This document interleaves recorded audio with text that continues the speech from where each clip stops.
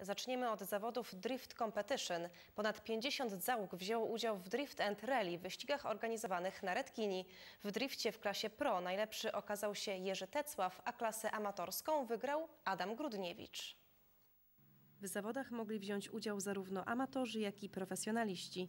Pogoda nie rozpieszczała kierowców. Startować w temperaturze powyżej 25 stopni jest naprawdę trudno. Za to słoneczna aura zachęcała do podziwiania driftingowych zmagań. Najbardziej widowiskowy motorsport na świecie w tym momencie.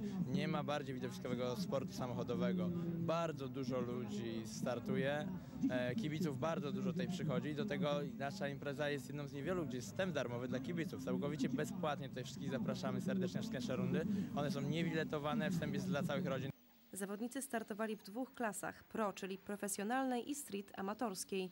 Wśród uczestników znalazł się Adam Grudniewicz, który wrócił do driftu po siedmiu latach przerwy i wygrał zawody w klasie street.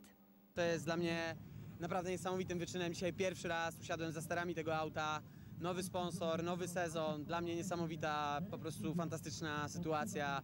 Nie potrafię wy, wyrazić swoich emocji w tym momencie. Chociaż staram się je trzymać na wodzy, bo wiadomo w drifcie e, chodzi o to, żeby faktycznie psychicznie wytrzymać. Nie jest to tylko pojedynek e, samochodów, ale przede wszystkim psychiki kierowców. Jak ocenił trasa, nie należała do najłatwiejszych.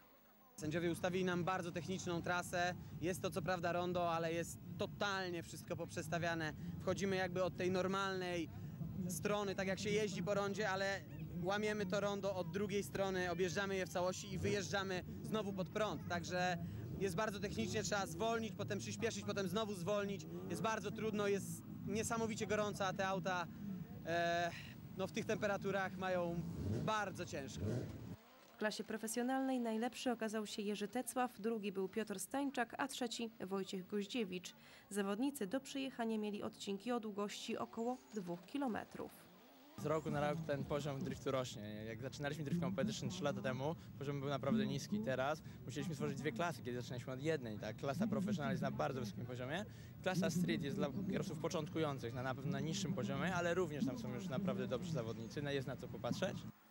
Dużą rolę w drifcie odgrywa odpowiednio przystosowany samochód. Każdy auta e, udoskonala, e, budują się nowe projekty.